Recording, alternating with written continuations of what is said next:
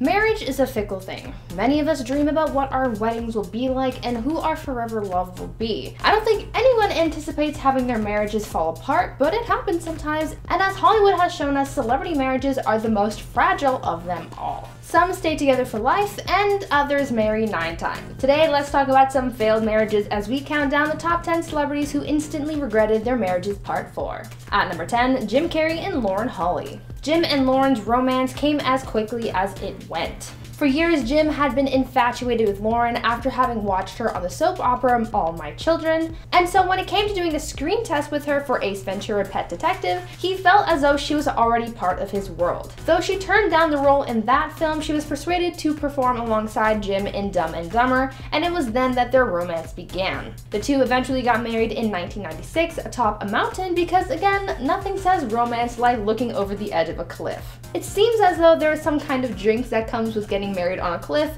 because much like the mountain's edge, their marriage came to an end. Now, unlike many other celebrity marriages, this one didn't really end with disdain. Instead, it ended just because they were kind of over it. Their romance came at the emergence of paparazzi culture, and so as the biggest couple at the time, the paparazzi were following the couple everywhere, and even setting up camp in their backyard just to catch a glimpse of the two. Jim and Lauren ended their marriage nine months later, with some thinking that it was because of cheating or career jealousy. There was no bad blood, so maybe things just ended because they weren't meant to be. But they probably regretted their decision to wed because of the invasion of privacy from the paparazzi. At number 9, Mike Tyson and Robin Givens. Mike Tyson's first marriage to his wife Robin Givens was a rocky one. After 11 months of dating, they got married in 1988 in the wake of Robin's pregnancy, and after Mike gave Robin and her mother around $10 million to get them settled. In Mike's memoir, he accused Robin of marrying him and locking him into a relationship for her own gain, as he alleged that her pregnancy and subsequent miscarriage were faked in order to get him to marry her. In the media, Mike was dragged through the mud. There were allegations of abuse and mistreatment on Mike's part, and the infamous Barbara Walters interview did not help with his image. The interview was originally supposed to be a one-on-one profile of Mike, but before the interview, Robin allegedly pulled Barbara aside and told her that she didn't have the whole truth about them. Robin was then invited to join the interview where she opened up about things that she sustained while married to Mike and commenting on how he's been treating her. Up and I said, I don't deserve this. I never had this in my life before, and I'm not going to tolerate this. Soon after the interview, Robin filed for divorce from Mike and was later caught cheating on him with Brad Pitt. Mike most definitely regrets marrying Robin as he said so in his book, and others refer to his marriage to Robin as the quote, one that ruined him. Before I carry on with this list, I'd like to ask you guys to consider leaving a like on this video, and if you're looking for some more awesome content to enjoy after this video, check out my gaming channel Viper Girl for some more fun with me. At number 8, Luann and Tom D'Agostino. Real Housewives of New York cast members Luann and Tom D'Agostino weren't the greatest pair, and anyone on set could have told you that. The other cast members actually warned Luann about Tom, saying that he was untrustworthy and that he was still in love with his ex. Still, Luann continued her romance and the two got married on New Year's Eve in 2016. At the end of the show's sixth season, it was revealed that one of the cast members had compromising photos of Tom kissing another woman just days after his and Luann's engagement party. Soon it became apparent to the public that there were some serious problems in their relationship as Luann and Tom got into a heated argument at a restaurant which ended with Luann slapping Tom across the face. This heated relationship and Tom's subsequent cheating never subsided, as days before their divorce announcement, Tom was caught with another woman, but at that point, no one was really surprised. They were only married for seven months, and those were the craziest seven months of their lives. Luann regrets not having listened to her castmates when they warned her about Tom, but at least that chapter has closed. At number seven, Axl Rose and Erin Everly. The tumultuous relationship of Axl Rose and Erin Everly is one that is certainly ingrained in the rock world. The two met while Axl, the frontman for Guns N' Roses, was still a struggling musician. She became one of the most important people in Axl's life, being the inspiration for the song Sweet Child of Mine. After meeting at a party in 1986, the two formed an instant connection. Despite being a good-looking match on the outside, they had a tumultuous relationship, but this didn't stop them from getting married in a Las Vegas ceremony in 1990. Axl allegedly threatened to harm himself if she didn't marry him, so things were already off to a rocky start. The marriage was annulled in 1991, just nine months after getting married, and in 94, Erin filed a civil suit against Axl where she alleged that she was being abused by her then husband. Since the split, Erin has auctioned off memorabilia that she had kept from her days with Axl and the band, looking to rid herself of any trace of her old ties with them. She surely regretted this relationship because of how messy it was and the way she was treated, and the fact that she wanted to get rid of so much of her past also speaks volumes. At number 6, Chris Kattan and Sunshine Tutt. Actor and SNL alum Chris Kattan and his ex-wife Sunshine Tutt had an incredibly short marriage that only lasted 8 weeks.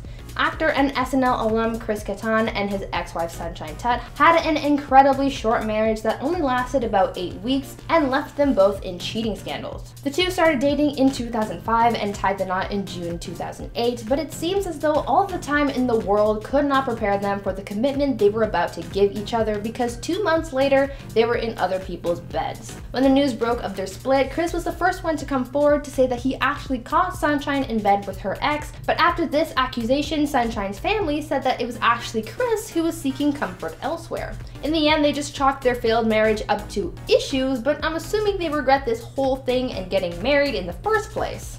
Clearly, they weren't ready for this kind of lifelong commitment, so that was just a waste of time and money in the end. At number 5, Chad Johnson and Evelyn Lozada. Chad Johnson, also known as Chad Ochocinco and ex-wife Evelyn Lozada, were only married for two months, but so much happened in that short amount of time to permanently damage their relationship. Their relationship was intense, but it wasn't until after they got married that the world learned just how intense it was. After dating for less than a year, the two were wed in a 4th of July ceremony in 2012, but just two months later, there came an incident that broke them. Evelyn recalled finding a receipt in Chad's car for items that prompted the idea that Chad was cheating. The two fought and ended with Chad seriously injuring his wife. Chad was arrested for battery and domestic violence, and they divorced shortly after the incident. Evelyn did an interview about the ordeal where she opened up about her feelings on the situation. He was lying, and um, I told him, I, I never forget telling him, I said, I'm not sticking by you through this. I don't care if my marriage is the laughing stock. And the two have gone their separate ways since. At number 4, Elizabeth Taylor and Conrad Hilton. Elizabeth Taylor, one of Hollywood's most memorable icons, was married eight times and had many stories and encounters to recall throughout her life, but one of her shortest and most regrettable marriages was to Conrad Hilton. The two were only married for 205 days before undoing their marriage after feeling neglected and abused by her new husband. She was 18 at the time of her marriage, but shortly after their wedding, Liz recalled how indifferent Conrad was to her and how hurt she was when he spoke to her using abusive language. Liz won her divorce on grounds of mental cruelty, she refused alimony, and took back her maiden name. It was almost like it never happened, and Liz wanted it that way. She knew she deserved better and refused to put up with Conrad's treatment of her. During their honeymoon, the two reportedly fought a lot and spent more time apart than they did together. She later told news sources that her idea of marriage was very naive, and so she regretted the decision. She lived a better life without him anyway. At number 3 is Zsa Zsa Gabor and Philippe D'Alba. Actress Zsa Gabor was married more times than anyone on this list, having been wed 9 times in her life. Some say she liked getting married more so for the pomp and circumstance than some say she liked getting married more so for the celebration than for the actual marriage part, but who knows, she was living her best life. Her marriage to her eighth husband, Philippe D'Alba, was the shortest, having lasted less than a day, but not for the reason that you might expect. She didn't regret her marriage to Philippe, she regretted her marriage to her seventh husband, Michael O'Hara. Why? Well, because he ruined her eighth marriage. After marrying Philippe, she learned just a few hours later that her marriage to O'Hara hadn't legally ended, so her newest marriage was illegal. Zsa and Philippe had their marriage annulled the next day, and they never got back together, deciding that their marriage was just too weird. At number 2, Ike and Tina Turner. Tina Turner is an absolute legend, and to think that anyone would even have the nerve to hurt this queen is so sad. Ike and Tina were a musical powerhouse, but they had a tumultuous relationship, leaving Tina regretting having ever known him. The two met while Tina was still a teenager and began performing together. In 1962, the two got married and continued to perform together for the following decade. Though they were a successful duo, Ike had been abusing Tina behind the scenes, causing her so much pain that she didn't deserve, and even prompting her to try taking her own life. After surviving her attempt, she made it her mission to leave Ike and begin a fresh start.